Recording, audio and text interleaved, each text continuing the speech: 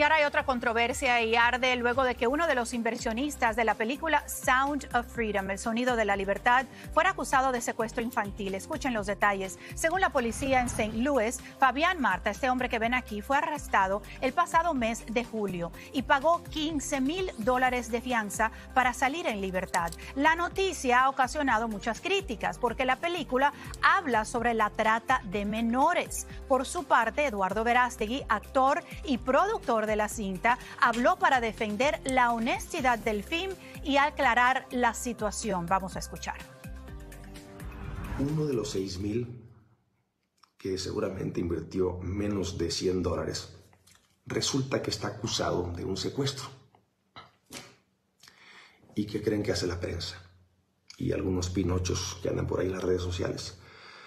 El inversionista de Sound of Freedom, ¿qué está pasando aquí? Le hablo a los de Angel Studios, oye, hay una noticia que dicen que el productor que financió la película, que no sé qué, que está acusado de secuestro, pues, ¿y este quién es? Bueno, pues, quién sabe quién es. Se meten a investigar.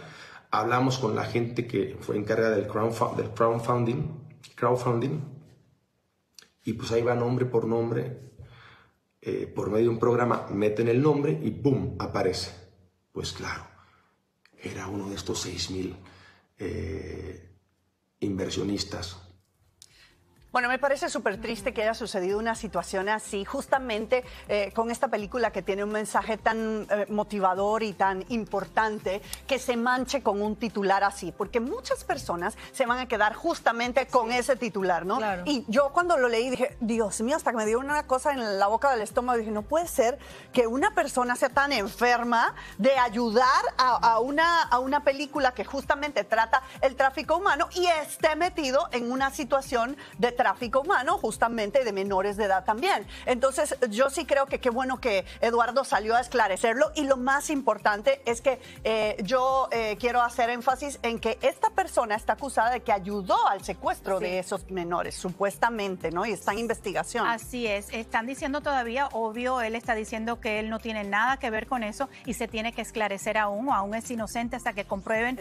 Pero de todas formas, aunque fuese así, esto demuestra precisamente que el problema del tráfico humano está en casi todos nuestros entornos, está en nuestros alrededores. Casi estas 7 mil personas, 6 mil personas que donaron estas pequeñas cantidades para que se pudiera sacar la película, pues la película está producida, dirigida y actuada por latinos y ha sido un exitazo. Yo creo que eso es precisamente lo que tenemos que, ese debería de ser el enfoque de nosotros, que esta película ha roto todo tipo de récords también por el tema y que además se han podido pues rescatar a muchos más niños jóvenes y adultos que hoy en día están en medio de situaciones de esclavitud. Ahora, es un problema que continúa. explícame un poco, ¿por qué hay tantos detractores, como dijo eh, Eduardo Verástegui? ¿Por qué hay tantos pinochos y gente ah, que están en contra de que esta película eh, eh, tenga ese éxito? Yo te diría, Vero, que lo que yo he visto en las redes sociales es que esto está siendo, tiene un trasfondo donde hay muchas personas que tú tal vez ni sabes están involucradas, como en Hollywood,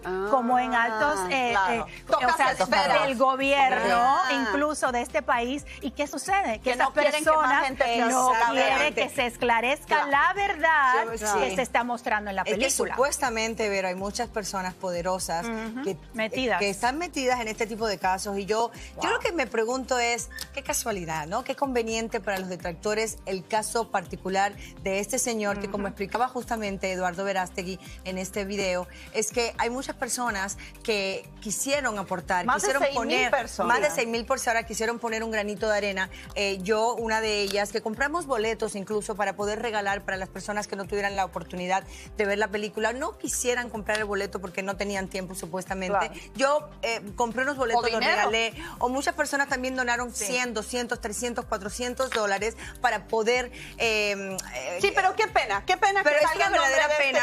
es, una verdadera pena. pero es muy conveniente para los detractores porque entonces arman todo este escándalo y lo hacen enorme para que parezca Pero por eso, si aún no han ido a ver la película, deben de ir a ver la película. porque es muy importante para que sepan exactamente de qué se trata y lo que está sucediendo.